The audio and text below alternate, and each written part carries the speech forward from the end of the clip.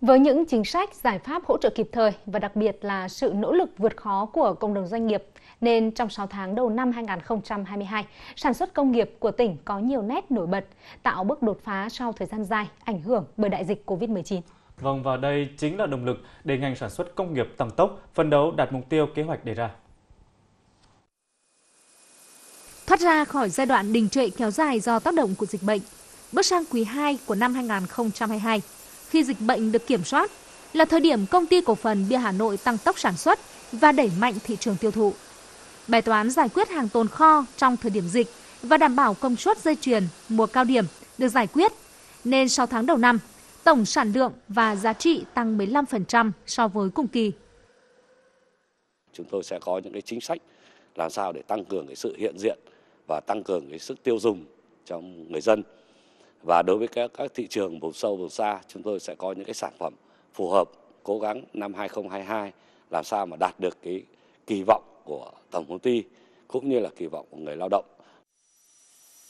Cùng với sản phẩm bia, thịt sữa, xi măng, vật tư phân bón, tôn lợp các loại và các sản phẩm may mặc tiếp tục là các sản phẩm chủ lực dẫn dắt sự tăng trưởng của lĩnh vực sản xuất công nghiệp trong 6 tháng đầu năm.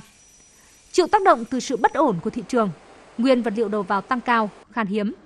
Nhưng các doanh nghiệp đã chủ động linh hoạt dự trữ, bổ sung nguyên vật liệu thay thế, đầu tư công nghệ tiết giảm chi phí, đặc biệt là giải quyết tốt bài toán thị trường đầu ra cho sản phẩm, nên sản lượng và giá trị tăng trưởng khá so với cùng kỳ.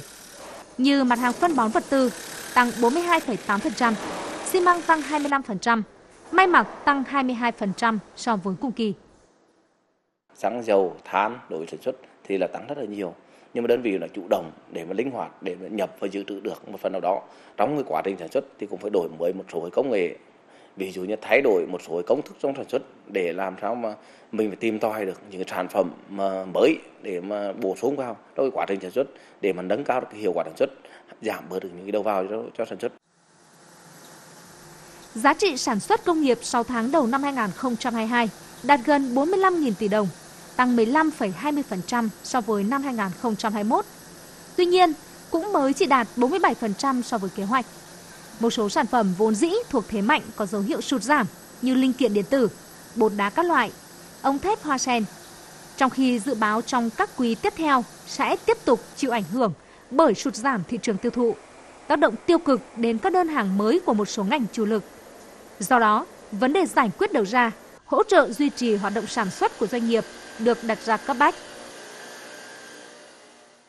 Hỗ trợ các doanh nghiệp là thực hiện cái tăng cường các cái biện pháp chuyển đổi số trong các doanh nghiệp công nghiệp như là à, công tác quản lý rồi tham gia các cái hoạt động thương mại điện tử à, để mà thích ứng trong mọi hoàn cảnh. À, tiếp theo là hỗ trợ các cái doanh nghiệp, các cái cơ sở sản xuất tiểu thủ công nghiệp, à, ngành nghề nông thôn đó, à, là à, đầu tư đổi mới mua sắm thiết bị, đổi mới công nghệ để nâng cao năng lực sản xuất thông qua cái, cái, cái nguồn quỹ khuyến công ngành sản xuất công nghiệp mới chỉ đi được một nửa chặng đường của năm.